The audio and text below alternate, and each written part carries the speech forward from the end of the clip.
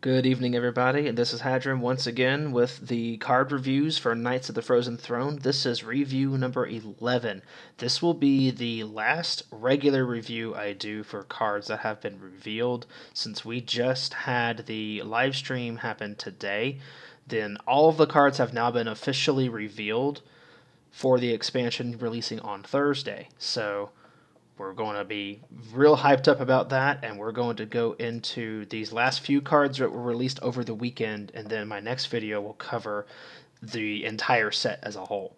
So, getting right into this next review, we have Snowfury Giant. So, this is the giant of the expansion. It's 11 mana, it's unplayable unless you meet certain conditions, right? And it's a shaman card. So, it costs one less for each mana crystal you've overloaded this game, and it's an elemental. Uh, very significant synergies with this card in Shaman as a whole. Um, it's very easy to overload for at least one as a shaman. There are a lot of cards that have a bunch of different uses and a lot of the same use in many different shaman decks, you're bound to run into at least two overloaded mana crystals um, in your first three or four turns of the game. Uh, maybe even up to turn six, you've overloaded at least two. So this card is generally going to be somewhere around a nine or an eight cost in a general sense. Now you can build your deck to push this thing out even faster with the Drukhari Defender card or any other card that has a significant amount of overload like Earth Elemental.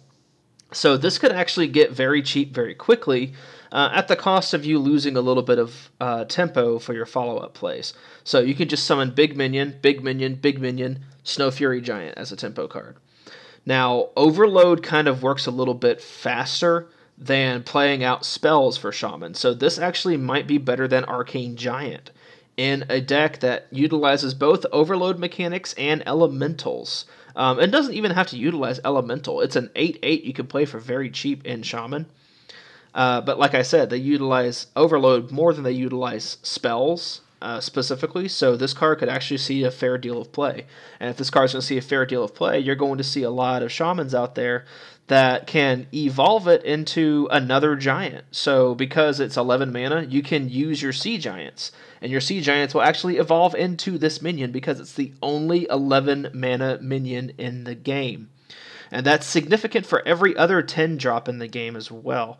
Um, if you have a minion that's devolved, like your arcane giants or your mountain giants, this actually that actually becomes Snowfury Giant because it's the only 11 drop in the game. So it is very influential in that regard, but I think it'll also see play just because it's a very fast tempo play after you've just overloaded a bunch of mana. So really cool concept and you're probably going to see this card a lot, so you better get used to it. The next one is Forge of Souls, the warrior spell. Two mana, draw two weapons from your deck. Now, I actually think this is weaker than Battle Rage in the specific effect that if you get two cards off a of battle rage, you're doing very good. But those two cards might actually be something other than weapons that you can use, like brawl, like minions, like certain other effects that can use to restore health or armor. Drawing two weapons from your deck is pretty much kind of like uh, keeping up the pressure with that weapons energy you have with something like pirates. Uh, this may actually replace a couple of your pirates because you're more guaranteed to draw your Arcanite Reapers with this card. So it's kind of aggressive in that form, but you can be more consistent with the weapons that you have in your deck. So it could actually see a very good deal of play. Uh, the downside is that you have to put those weapons in your deck to make use of the card. Um, it could actually be used with the Blood Razor card, so you can have some extra Fiery War Axes in your deck, and you can have Blood Razors, and you can play this card to draw two of them. I would only put one though, because if you're running a lot of weapons in your deck, you're kind of questioning whether or not what kind of deck strategy you have with running too many weapons inconsistently. So I think four weapons is enough. Um, so with four weapons is enough, I think one of these cards is plenty. This is probably not one you want to run two of, but it's very powerful in the fact that you can keep up bo- you can keep up the tempo and the value of your weapons, and you can have several different weapons in your deck to utilize a very a variety of strategies. Um, it could be used to also pull out Gorehowl, uh, Fool's Bane, uh, any other kind of control weapons. So it's actually got a very flexible use but probably won't be run more than one in a deck, uh, in my opinion. Despicable Dreadlord. So it's a 5 mana 4 5 demon. Now, for once, we actually have an understated demon for its cost. It's kind of got uh, like shamans have overload cards that are overstated because the downside of overload makes up for the fact that it's low mana cost for a big body. Now, demons kind of typically have a big effect, but it also has a downside of either damaging your hero, discarding a card, destroying a mana crystal, uh, something to that effect. So, this is actually a fair minion to play, fair to below average, but the effect is uh, you actually deal one damage to all enemy minions. So it has no downside to playing other than the extra mana crystal um, on its cost over like a Chillwind Yeti or something. It's also one of the only five drops that Warlock will actually want to play proactively. Um, because dealing one damage to a lot of minions is actually quite influential and this card kind of acts as a pseudo taunt in a way. So it's basically five mana, four five with taunt, uh, because your opponent doesn't really want you to keep killing off their minions every turn. So um, it is an end of turn effect. Uh, so there they did reveal a card that has synergy with end of turn effects. So this could actually end up getting out of control in specific with specific combos. So it could be very, very powerful. And it's a good demon to have in your Warlock demon deck because it doesn't actually hurt you when you play it. Um, so yeah, I like the card. It's really good. Um, I just think that it's not powerful enough in the control game to be very influential. 4 5 is fairly weak. Um, yeah, it is hard to kill off. Yes, it does kind of counter the priest thing a little bit. But uh, there are ways to work around it, and the effect may or may not be influential. Um, it pretty much has five attack uh, in some regards as long as it lives, but in the general sense, it's probably not good in the control matchup, but it's really good in the aggro matchup, so I think I like it.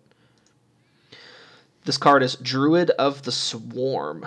So, Druid, 2 mana minion, 2 mana 1 2, that transforms into a 1 2 with Poisonous which is a beast, by the way, or a 1 5 with taunt, which is also a beast. So it either turns into like a little spider with uh, poisonous, or it turns into a scarab, which has taunt.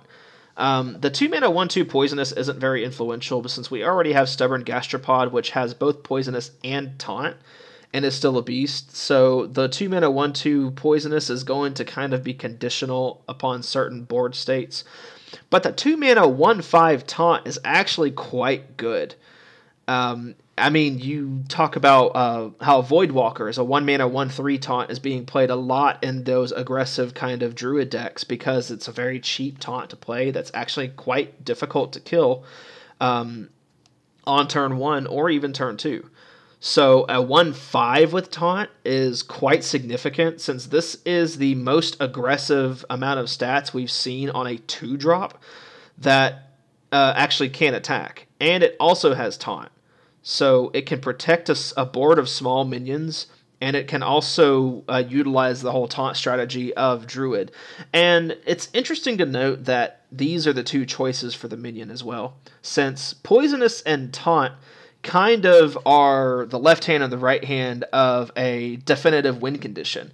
And the fact that you have maybe some really kind of scrappy taunt minion protecting your poisonous minion that way, your poisonous minion is free to kill off one of your opponent's minions while your taunt is on the board protecting it. So that's they've kind of got this kind of give and take strategy on Druid here, and I really like that. And we saw um, in my previous video uh, Webweave, which summons poisonous minions. So you have Webweave, which summons poisonous minions, and then you have uh, Plague Swarm, which summons a bunch of taunt minions when your opponent's got a board. So that those two in tandem actually work fairly well. And if that strategy kind of works out with Druid, this is the card that kind of fits the niche in both the taunt and the poisonous strategy. Um, also, it's just a very good general use card. And as I mentioned, the transformations are beasts. So there are some synergies with that as well.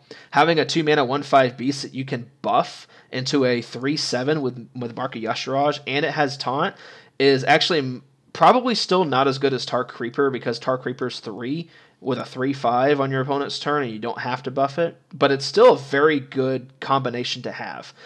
And it's going to see a lot of play in aggressive druid decks. It may even see play in the kind of mid-range to taunt druid that you've also seen. So I'm I really like the idea behind the card. It's really good. Now, since we're in the druid topic, we have the druid Death Knight hero that they have unveiled, Malfurion the Pestilent.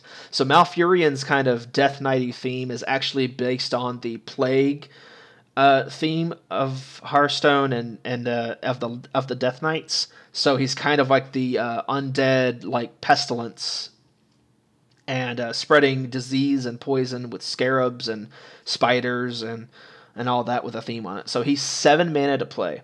Now his uh, battle cry isn't. he doesn't have a battle cry. He has a choose one, but it works the same as a battle cry. So you can either summon two poisonous spiders or two scarabs with taunt. Now these scarabs and spiders are exactly like what we saw in the last minion that I just unveiled. Is either going to be a one two, is two one two with poisonous or two one fives with taunt, and that's fairly significant to note. So this is actually something that they've been pushing with the uh, druid class is the poisonous versus taunt. This effect does work with Fandral Staghelm. So if you have Fandral on the board, you actually get all four minions on the board when Malfurion is played. Two taunts and two poisonous minions. That's very good. That is very, very good. Um, and you can innervate out since druids have the innervate option. You can play these on the same turn. And so showing up with the hero power now, we have Plague Lord. So your gain one attack, gain one armor is now replaced with choose one. You either gain three attack or you gain three armor. So you have the ability to perform trades as well as stave off some late game damage. We've seen how powerful um, Justicar Trueheart is on Warrior when you gain four armor every turn. So if that is the kind of strategy you want to go for with Druid, you have that option to gain three armor every turn and keep gaining that health total over your opponent. Or you can utilize the advantage of dealing 3 damage to a minion at the cost of a little bit of health. Or you have that extra 3 damage to your opponent's hero to push some win condition for your minions. So that's actually uh, very flexible hero power, and again, it works with Fandral Staghelm, so you get both of the effects tied together. Uh, the the Hero is actually very cool because you have a chance of summoning minions on the board when you play it. It is 7 mana. You're only getting like very cheaply statted minions, but if you have a if you have a specific board state that you want to have, your opponent's going to get sick and tired of trying to kill your your really really small taunt minions, and they're not going to run out of AOE's since they are actually very beefy with their health. And you have other minions that synergize with taunt. Um, all the taunt minions that they've revealed in Druid in this expansion have one attack. So they're actually not very strong on the offensive side, but they block a lot of damage for their mana cost. So you may actually get to turn 7 quite consistently when you play all of those cards in the same deck. And then you can just turn right around and start hitting your opponent in the face for 3 every turn, which is very spectacular. Or you can keep up the defensive strategy with all the armor gain. So I really, really like the idea behind the card. It's very flexible, and I think even at seven mana, it'll start seeing use even in general Druid decks, even if the ones that don't run Taunt or Poisonous. Uh, just to get the extra value of having the hero power and having the extra little board presence on the top of it. I think it's really cool. So Paladins get Blackguard. It's a six mana three nine. Whoa. Um, those are some pretty wild stat distributions there. So why all the health with so little attack? Uh, but it's a six drop. It is the um, I've seen this stat line before. It is on a minion that never saw any constructed play. It's a it's Bolf Ramshield. So it has to have an effect that's much better than Bolf, but Bolf's effect was really bad, so that's not really much of a challenge. Whenever your hero is healed, deal that much damage to a random enemy minion. Oh, okay. So you have life steal synergy in Paladin. Not only do you get the restoration effect from basic Paladin cards, and even some of the new cards that come out that restore health, you now have a chance to turn that health into damage, more damage. Whenever you get healed, you restore that much to and and you deal that much damage to an enemy minion. Um, note that it cannot go to your opponent's hero, so you cannot OTK with this card. Uh, but in this regard of board control, you can play this minion when you have a minion with lifesteal already on the board. And that minion, let's say it's the Chillblade Champion with a 3 2 stat line. So you can Chillblade Champion with this card. Um, and by the way, they both cost 10 mana altogether, so that this is possible. You can Blackguard Chillblade Champion or Chillblade Champion Blackguard, however you prefer. And attack with the Chillblade Champion for 3, heal for 3, and then deal 3 damage. So if your opponent has exactly one minion, this is how it works. You charge into your opponent's face to deal 3 damage. You restore 3 health to your hero, and then this thing deals that 3 damage to the enemy minion. That can work. Or you can just charge into the enemy minion for 3, heal yourself for 3, and then deal another 3 to the minion, so that minion took a total of 6 damage. It's likely that your charger would die in the process at that point in the game, but hey, you just dealt 6 damage to a minion and played a 3 9, which is very hard to remove. So any healing that you ever do with this will actually destroy a lot of minions. And oh my gosh, this thing has a lot of synergy with Forbidden Healing when you get 20 off. You basically kill just about everything in the game at that point. So, but hey, what am, who am I to judge, right? Paladins don't really have that many healing spells. How are you going to ever get this thing off consistently? I'm sorry, I couldn't say that with a straight face. This is going to be a very dangerous card. And then finally, the Paladins get the Death Knight hero Uther of the Ebon Blade. So he's 9 mana, which is very expensive, but you get this 5 3 life steal weapon. I don't actually have an image of the weapon, but I really imagine, since it's a paladin card, it's a 5 3 weapon, so it's exactly the same as Ashbringer. And since this is Death Knight theme, you're definitely getting a corrupted Ashbringer with life steal, and that is really cool. It's just like the card that I have on my ending video that I haven't got to show you on the end of this video. So you gain the 5 armor and you equip a lifesteal weapon with 5-3, and it's definitely the Corrupted Ashbringer. Uh, which is really cool because you gain the 5 armor initially, so when you deal 5 damage to something with your weapon, you actually have that little bit of armor as a buffer. So in that way, it works the same as kind of like Truesilver Champion. Um, when you restore health first, before you hit a minion can actually be much a very big difference. But if your hero survives the hit, they're just going to heal the five. And five health after hitting another minion is significantly going to uh, change the way that affects. It's basically going to either come out positive or you're basically going to get tr- a free trade off of a five attack minion or something. Even a very big minion only deals a small amount of damage to this card or to your hero. So that's pretty cool, but that's not even the half of it. Okay.